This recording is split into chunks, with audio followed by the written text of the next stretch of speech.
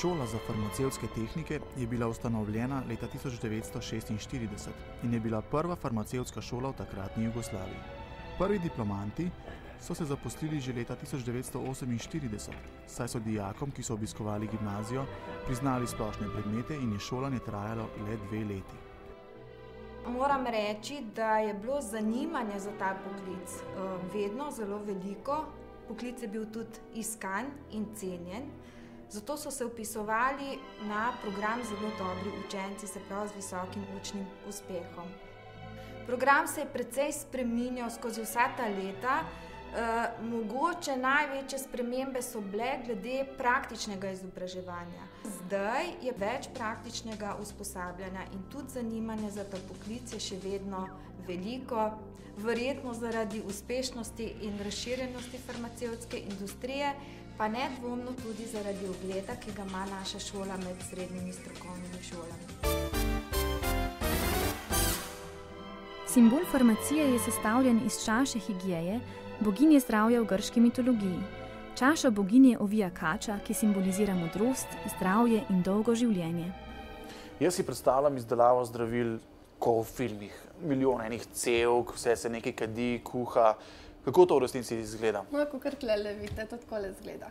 Ampak to je zdaj samo To so vzorci. kemikalije, ja, ki z njimi pregledujemo zdravilno učinkovino, na primer v takih, ne, tabletkah.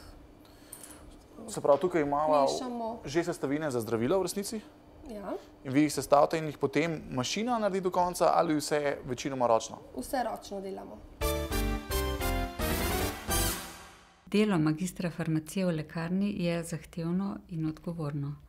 Zahteva obsežno znanje o zdravilih in tudi o boleznih, ki ga pridobimo s petletnim magistrskim študijem farmacije in ki ga potem tudi stalno nadgrajujemo s strokovnim izobraževanjem. Poleg tega ta poklic zahteva tudi dodatne veščine in spretnosti, kot so na primer komunikativnost, sočuten odnos do sočloveka, zaznavanje človekovih stisk in potreb.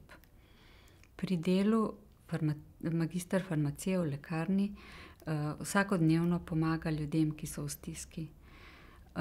Rezultati tega dela predstavljajo farmacevtu zadovoljstvo, vsakodnevno zadoščenje in tudi nagrado, ki je mnogokrat več vredna kot finančno plačilo za delo.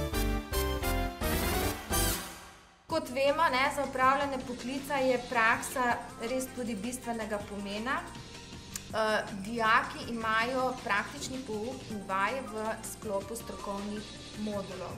Večino vsega tega opravijo v šoli, v specializiranih učilnicah in pa laboratorijih. Poleg tega pa v višjih letnikih, tretjem in četrtem letniku, opravijo še praktično usposabljanje pri delodajalcih.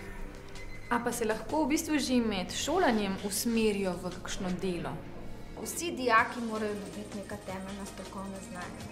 Vendarle v zadnjih letih, se pravi nekako od leta dva tisoč sedem, ko so prenovljeni programi v srednjih strokovnih šolah, se pa lahko delno odločijo v četrtem letniku v skladu s svojimi interesi. Farmacevtski tehniki se lahko zaposlujejo v lekarnah, galenskih laboratorijih, farmacevtski industriji, veledrogerijah, specializiranih prodajalnah, bolnišničnih lekarnah, pa tudi posamezniki se znajdejo kje drugje kot laboranti na fakultetah, mogoče v živilski industriji.